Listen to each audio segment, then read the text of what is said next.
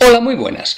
El pequeño Nicolás se queda sin abogados. Claro, no me extraña, si no hace más que ir de platón plató engordando el personaje.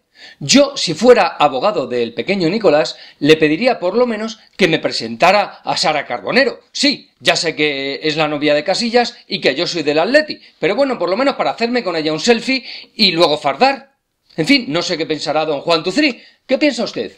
Pues yo lo que pienso es que lo de este chico huele cada vez más a cosa chusca, y eso da la medida de mucha gente de este país. Un personaje lamentable, que además se pasea por la tele donde el público le recibe con bravos, que el personal se vuelve loco por hacerse fotos con él. En fin, debería hacernos pensar en nosotros mismos más que en el patético chaval este. Por cierto que el nivel de vida y el día a día del pavo es impresionante. ¿Quién le paga su ritmo diario? sus casoplones. Además, se ha seguido viendo con personajes de la vida empresarial y política del país. ¿No será que el pequeño Nicolás lo único que hacía era de conseguidor para algunos? Cuando digo conseguidor ya ponen ustedes mismos lo que conseguía.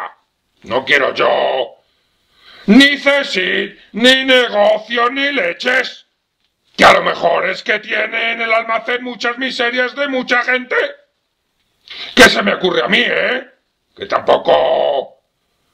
A este va a terminar por defenderle el fiscal anticorrupción. Y si no, al tiempo.